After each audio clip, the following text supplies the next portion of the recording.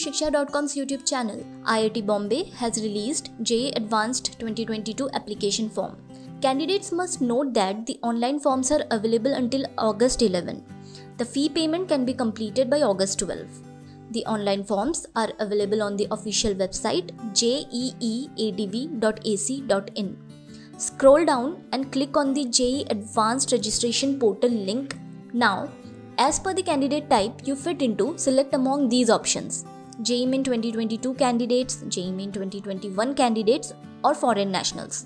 The JEE Main 2022 candidates have to log in with their JEE Main 2022 application number and password, then followed by the security pin as shown. Whereas JEE Main 2021 candidates have to log in with their JEE Main 2021 application number and password, followed by the security pin.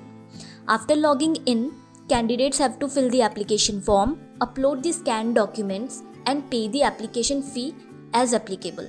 Also, in the JEE Advanced Registration portal, candidates can check the instructions for registration, important dates, information brochure, certificate formats, password policy, eligibility criteria, and contact details. JEE Advanced Admit cards for all registered candidates will be releasing on August 23, and the JEE Advanced exam date is August 28.